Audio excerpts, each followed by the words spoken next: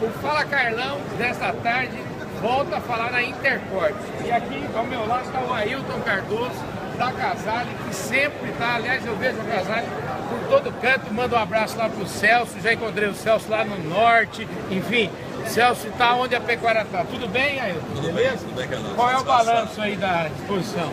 Muito bacana, é um evento que reúne o pessoal é, interessado em mudar a pecuária no Brasil.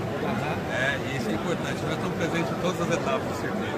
É isso aí. A gente está muito feliz com o resultado do, do trabalho pessoal aí. Maravilha. É isso aí, gente. A Casale realmente está presente em todas as feiras e aqui no circuito, acho que desde o começo vocês estão em todos, Em é isso? todos, em todos. Ela sempre está preocupada em, em melhorar a pecuária no Brasil. Pois é. E melhorar a pecuária no Brasil é exatamente o intuito do circuito Intercorte. E o Fala Carlão, com essas informações aqui da Casale, vai ficando por aqui.